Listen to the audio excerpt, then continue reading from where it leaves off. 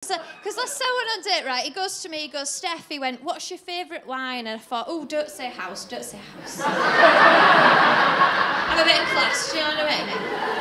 And I thought, oh, my favourite, my favourite wine. I went, oh, uh, boxed wine. boxed wine though, it's proper good though, right? It's proper good, right? Because you know if you have a box of wine at home and you're drinking it by yourself, nobody can track how much you've had. You know, if you live with a judgy person and they go to the fridge, don't they, on a Tuesday, and they pull out your bottle of wine out of the fridge and they go, ooh, look at this. Half a bottle on a Tuesday.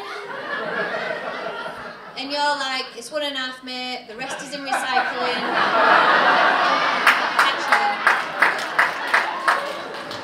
But when you have that box of wine, they can't track it until you get to the bottom of the box. But by that time, you are in no fit state to give a shit. You know?